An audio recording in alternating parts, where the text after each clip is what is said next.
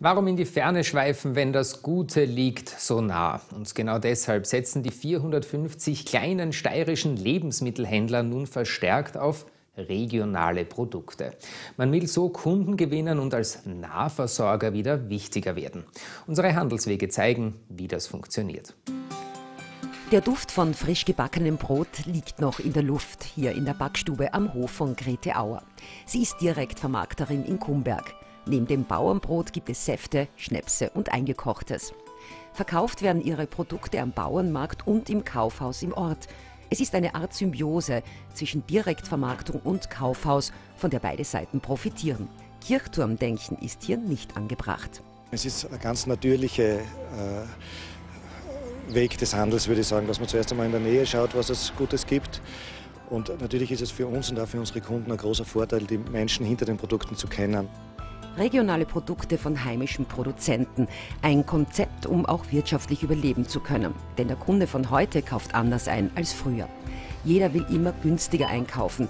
Es gibt immer mehr Großmärkte und durch den Bevölkerungsrückgang in ländlichen Regionen sinkt die Kaufkraft.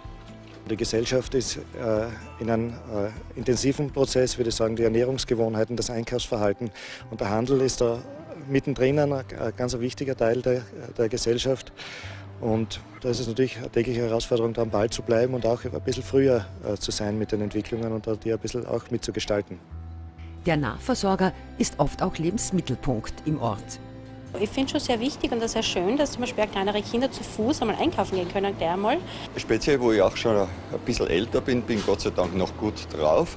Aber es kann ja sein, dass ich einmal nicht mehr so gut fahren kann und dann kann ich nicht mehr mit dem Radl fahren, dann kann ich aber zumindest zu Fuß hergehen. Grete Auer ist bereits wieder in ihrer Packstube. Sie hofft, dass es den Nahversorger im Ort noch lange geben wird und appelliert auch an die Gemeindebewohner.